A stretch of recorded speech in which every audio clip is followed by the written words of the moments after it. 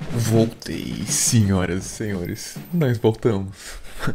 Muitos de vocês devem ter percebido, mas alguns não. Esse canal tava fora do ar. A gente tinha sido banido do YouTube. Não tinha nenhuma chance de postar aqui um videozinho e falar com vocês. Inclusive, quero aproveitar a tripulação. Meu nome é Victor e Emine. Vamos produzir conteúdo ainda mais limpo para se garantir, mas aparentemente a gente não fez nada de errado, segundo o e-mail que eles enviaram. Mas mesmo assim, eu quero fazer algumas mudanças aqui. Antes de tudo, eu quero agradecer ao Mano Jobs, a um canal aqui, parceiro, que faz um conteúdo do mesmo tema que o meu, e deu a maior força. Assim que eu postei o vídeo no outro canal falando que eu fui banido, ele publicou o vídeo, depois ele tirou, mas eu até entendo ele ter tirado porque podia às vezes respingar alguma coisa para ele, vai que eu tinha feito alguma coisa de errado, mas aparentemente não, pelo que parece, pelo e-mail de resposta deles foi um engano. Óbvio que isso era para me deixar bravo, mas na verdade eu tô um pouquinho triste, né, chateado que eles não fizeram esse tipo de checagem antes de bloquear meu canal permanentemente e me fazer esperar 15 dias para pedir o meu canal de volta. Felizmente o pedido foi aceito, eles leram a minha carta. A minha maior preocupação é que eu mandasse o recurso para eles e eles nem lessem, sabe? E só continuassem bloqueado. Nesses 15 dias eu pensei muito bem no recurso, em palavra por palavra, eram mil caracteres. Eu vou falar um pouquinho mais no final qual foi minha estratégia para abordar ali essa carta. Tô muito feliz assim que eu recebi a notícia, eu acordo de cedo, assim, eu costumo acordar umas 6 da manhã, 5 e alguma coisa. Eu acordei, chequei o e-mail e tava ali. Eu já saí do quarto falando bem baixinho e pensando, não, não, não, não, não. Vim aqui pro computador, abri e realmente não tinha mais nada. Tudo tinha sido apagado, é como se ele não existisse. Não dava para acessar, não dava nem para assistir vídeo por ele, assim, ele não existia. Eu imediatamente mandei uma mensagem para eles, o, o appeal, né, o, o primeiro recurso. Eles não entendem que é o único recurso. Mandei para eles desesperado, falando, por favor, me fala o que eu fiz de errado, que eu corrijo agora, não tem problema, eu me desculpa, não tive a intenção, não, eu não sei o que eu fiz, só me fala o que eu fiz. Mais ou menos essa era a intenção que eu passava no e-mail. E 24 horas depois eles responderam que foi recusado o meu pedido, após análise o meu canal continuava sendo bloqueado. E aqui eu falei, putz, mas era uma mensagem super padrão, quatro linhas, Ctrl C, Ctrl V. Tentei entrar em contato com eles no Twitter, não consegui, e aguardei esses 15 dias dias. Meio, nesse meio tempo eu abri um canal secundário só para tentar comunicar, mas eu já tinha esperança que esse canal secundário podia ser derrubado a qualquer momento, porque depois que você recebe um ban desse, ele é meio que permanente para você. Você nunca mais pode ter nenhum canal no YouTube permanentemente. E para mim, isso seria muito mais triste do que eu imaginava antes. Apesar do YouTube ter esse grande problema, que eu acho que é um dos maiores problemas do YouTube, que é o que eles fizeram comigo agora, o YouTube tem muita coisa legal. Nesse meio tempo eu pensei em várias alternativas e não encontrei nenhuma, porque o YouTube ele não é só uma rede social, ele é um site onde a gente pesquisa, onde a gente pergunta para a internet e ele traz respostas. Ninguém entra nos, no Instagram, no Facebook e pergunta, né, como trocar o casco de um Game Boy, como instalar tela IPS, como instalar wallpaper no RG351P. Ninguém pergunta isso no Facebook ou no Instagram ou Vimeo ou qualquer outro site. Aqui é um site de perguntas, assim, é um, é um site de pesquisa, que nem o Google em si é, é do Google, né? E não só isso, em cima disso, além de ele ser um site onde as pessoas perguntam e vêm ver, ele é monetizado. Né? As pessoas, os youtubers podem, depois né, de anos fazendo conteúdo e tudo, podem monetizar o seu conteúdo e viver disso talvez, ou ter um ganho extra com isso. Nenhuma outra rede social é monetizada também. Então, o YouTube é muito especial. Eu fiquei muito chateado, em depressão mesmo, né? De ter perdido essa oportunidade pra minha vida, porque é um, é um lugar que eu amo. O YouTube, eu eu conheço ele desde sempre. Eu desde que ele surgiu, assim, eu lembro que assim que ele surgiu, eu lembro da primeira vez que eu ouvi falar sobre o YouTube, que um amigo meu que tinha levado um chute no saco e, eu, e eu, minha câmera tinha filmado, ele falou: "Cara, me passa esse vídeo que tem um site que todo mundo sobe vídeo chamado YouTube". E a gente era muito novo, assim. Em 2008, 2009 eu fui para os Estados Unidos, eu já consumia muito YouTube, eu já tinha mas foi em junho de 2009 que eu vi o primeiro youtuber, eu vi o Philip DeFranco, que é um. É, é, até hoje faz vídeos quase que diários, acho que é de segunda a quinta que ele faz vídeo, eu assisto quase todos. Ele, é, ele dá notícias do dia, é um, é um canal de opinião, mas com notícias.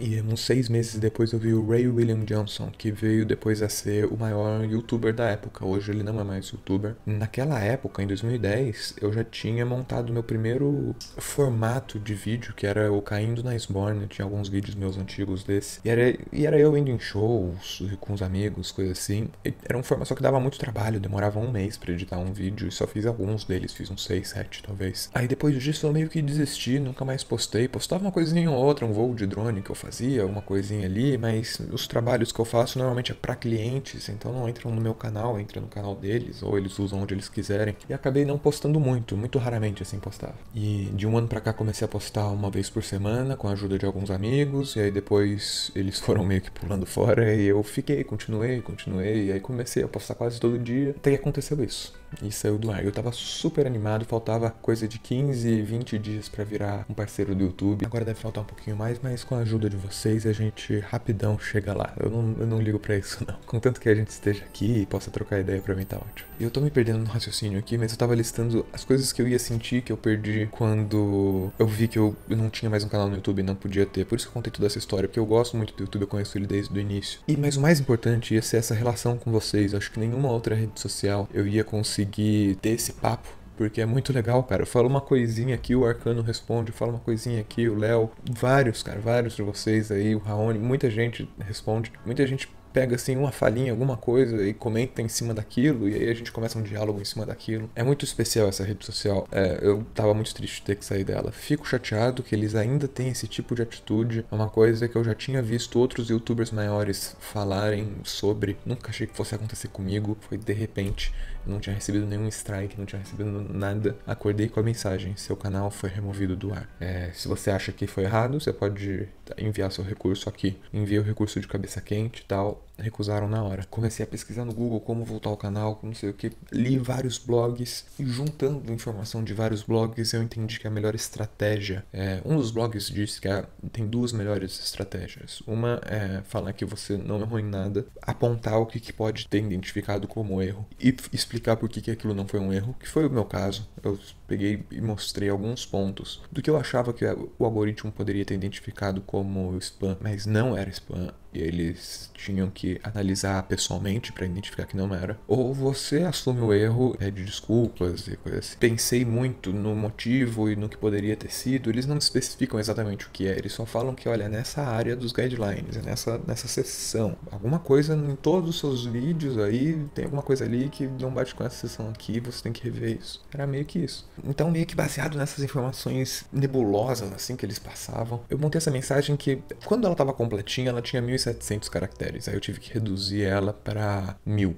Então ficou no final com 998 ou 999, eu acho. Ficou bem certinho ali no, no limite. E já comecei com o YouTube e falando: meu canal tem 10 anos, nunca recebeu nenhuma reclamação e recentemente foi bloqueado por engano pelo algoritmo. Eu acredito que os seguintes motivos levaram a esse resultado. Eu acredito que esses seguintes fatores, talvez. Aí eu coloquei ali 1, 2 e 3 e listei três fatores. Eu tinha alguns títulos repetidos, é, o título semelhante, então os títulos com o nome Pocket Go S30 em maiúsculo no primeiro lugar do título em vários, assim, 5, 6 vídeos. Pedi desculpas por isso e que não era spam, eram vídeos informativos, era uma playlist, era expliquei a situação. O segundo foi muitas tags, eu acho que eu, sei lá se era isso também. No final eles falaram que eu não fiz nada de errado, mas eu coloquei ali é, muitas tags, então vou me limitar a 3 a 5 tags por vídeo. Todas as tags são referentes ao vídeo, não é como se eu estivesse pegando tags de outros lugares e pondo ali só para atingir um céu melhor, nada assim. E por último, links. Eu falei que talvez estivesse usando muitos links, porque nos guidelines, na verdade,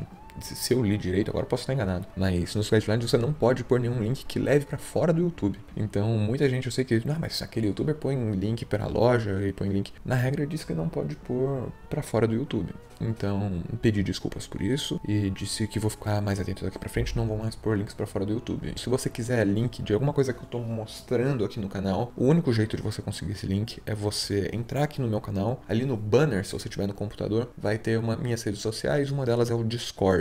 Entra ali que lá vai ter do lado esquerdo provavelmente todos os links e todas as sessões que você pode procurar. Se você tiver no mobile, você vai na seção sobre dentro do meu canal e ali vai ter também o Discord, tá bom? Porque aqui no canal, pelo menos por uns dois, três meses, não vou postar nenhum link, só para dar uma garantida que não foi isso, porque eu tô com medo de ser isso ainda. E só para finalizar aqui a mensagem que eu mandei para eles, eu finalizei essa mensagem depois de mostrar esses três passos. Eu contextualizei em uma linha o meu canal, porque eu acho que isso é importante, falar sobre o que é o seu canal ou o que é você. Em poucas palavras assim, eu falei: trabalho como diretor de fotografia, meu hobby é coleção de games retrô e esse canal é o encontro dessas duas paixões. Eu acho que eu falei algo assim. Faltam poucas horas para virar um YouTube partner. Adoraria ter essa oportunidade em breve. Obrigado pela sua atenção. Essa foi a carta. Então acho que foi uma boa. Não quero dizer, ah, essa é estratégia escreve isso que vai dar certo. Eu acho que é caso a caso, né? Você tem que saber se você fez algo de errado ou não. Nesse meio tempo, eu pensei em várias coisas que poderiam ter sido. Eu tenho um vídeo aqui que o título dele é Brasileiro Falsificando Game Boy. Quando você entra nele, sou eu arrumando o meu Game Boy e colocando peças nele que se assemelham a um outro game, mas eu não vou vender, não vou nada, eu falo isso no vídeo. Tava todo quebrado e eu coloquei um casco novo nele, coloquei botões novos para se assemelhar a uma edição especial. Eu fiquei com medo, fiquei, será que foi esse título que assustou o algoritmo? Algoritmo. Tem vídeos meus, sei lá, que eu repito várias vezes o título, como eu falei. Será que foi isso? Eu não sei o que foi. Eles me falaram no e-mail agora que eu não quebrei nenhuma regra e umas duas horas depois eles bloquearam um vídeo meu de 10 anos atrás. Será que foi esse vídeo de 10 anos atrás? Não sei, não sei. Ai, ai, ai, ai, ai. Mas tudo bem. Uma coisa que eu achei estranha, só queria comentar, eu mando a mensagem em português, eles me respondem em inglês.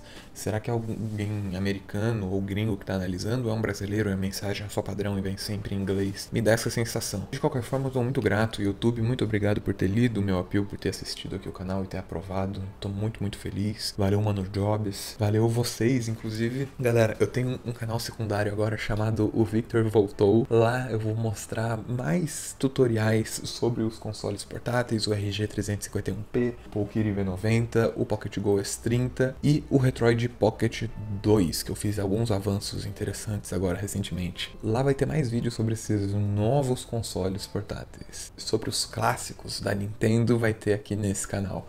Então, por exemplo, hoje, agora, só de comemoração que, eu, que o canal voltou, eu vou fazer um mod, um Nintendo DS Crystal Clear. Tudo Crystal Clear. O casco, as membranas, a bateria é branca, o frame é transparente, ou né, tem uma moldurinha branca. É tudo mais branco ou transparente possível. Eu já tô com uma película para ele, uma proteção de acrílico transparente também. Quero ver como vai ficar tudo junto. Tem aqui o cartão R4 para ele, tem tudo. Quero, assim que finalizar esse vídeo, vou editar ele rapidão, subir para vocês para agradecer vocês vocês, toda a força de todo mundo. Tamo de volta. E vou fazer esse mod para comemorar, porque fazer mod é uma das coisas que eu mais gosto na minha vida. E descobri há um ano atrás, mas adoro fazer. E eu não tava, eu não fiz nesses últimos 15 dias porque eu gosto de fazer filmando pra postar aqui para vocês. Eu tenho que falar também que amanhã à noite eu vou viajar. Eu vou postar esse vídeo hoje, vou gravar o mod, vou tentar editar ele o mais rápido possível para postar amanhã de manhã ou amanhã meio-dia mais ou menos. Aí amanhã eu vou tentar gravar três vídeos para tentar postar sexta, sábado e domingo, porque eu tô indo pro interior ver meus pais, porque é meu aniversário é dia 15 de abril, a gente tá quase lá. Da minha avó é no mesmo dia,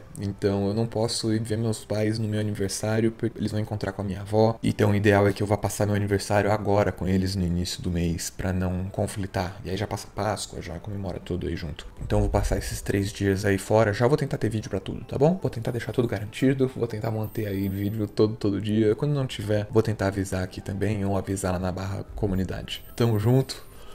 Voltamos. Valeu, valeu por me ouvir falar e por elogiar os vídeos e por curtir o conteúdo. Muito obrigado por fazer parte dessa jornada.